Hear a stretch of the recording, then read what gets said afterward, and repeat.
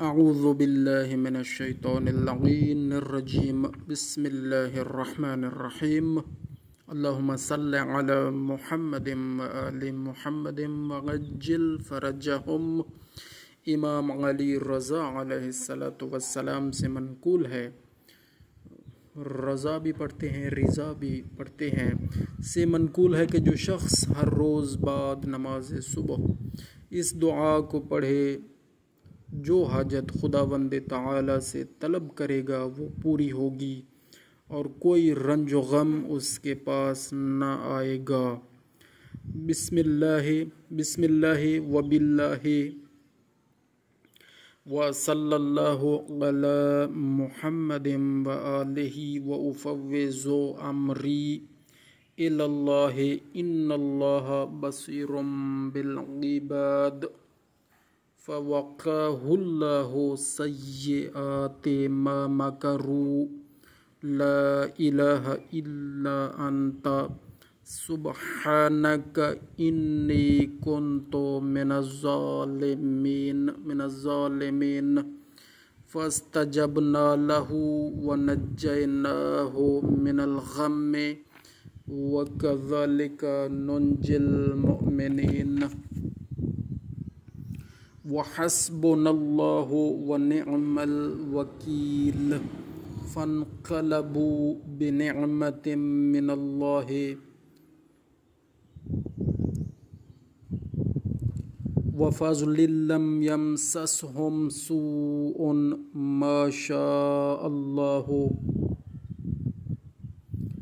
فنقلبو یہاں پر یہ مٹا ہوا ہے تھوڑا سا فنقلبو بھی ہو سکتا ہے۔ فن فنقلبوا بنعمت من اللہ وفضل لم يمسسهم سوء ما شاء اللہ، لا حول ولا قوة الا باللہ ما شاء اللہ، لا ما شاء الناس۔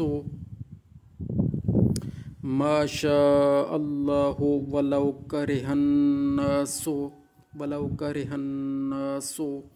حسبي الرب من المربوبين حسبي الخالق من المخلوقين حسبي حسبي الرازق من المرزوقين حسبي الله رب العالمين.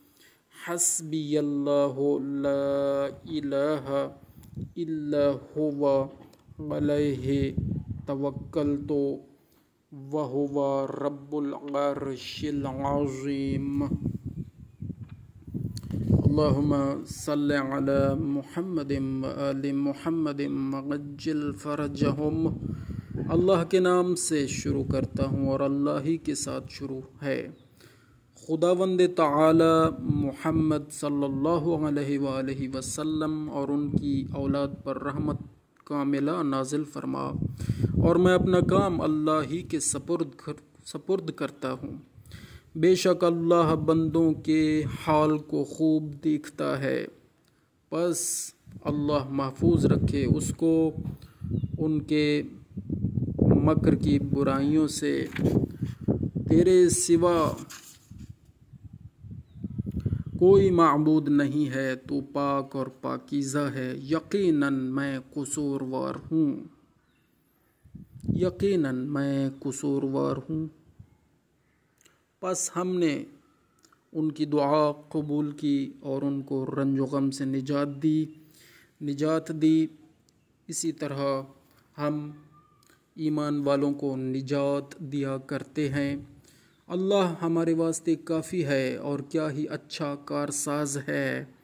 پھر وہ اللہ کی نعمت اور فضل کے ساتھ پلٹ کر آئے کہ ان کو کوئی برائی چھوئی نہ گئی تھی۔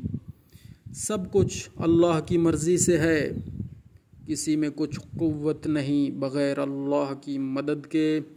سب کچھ اللہ ہی کی مرضی سے ہے، نہ کہ لوگوں کے چاہنے سے، سب کچھ اللہ ہی کے چاہنے سے ہے۔ اگرچہ لوگ کراہت کریں، تمام معبودوں سے مجھ کو پروردگار کافی ہے۔ مجھے سب کا پیدا کرنے والا کافی ہے۔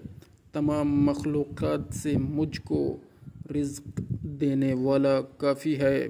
تمام رزق پانے والوں سے مجھ کو کافی ہے۔ وہ اللہ کے کہ جو تمام جہانوں کا پالنے والا ہے، کہ جو تمام جہانوں کا پالنے والا ہے، مجھ کو کافی ہے اللہ، جس کے سوا کوئی معبود نہیں۔ اسی پر میں بھروسہ کیے ہوئے ہوں، اور وہ بڑے تخت کا مالک ہے۔ بے شک بے شک۔ آمین بجاہ النبی الکریم۔ اللهم صل على محمد وآل محمد وعجل فرجهم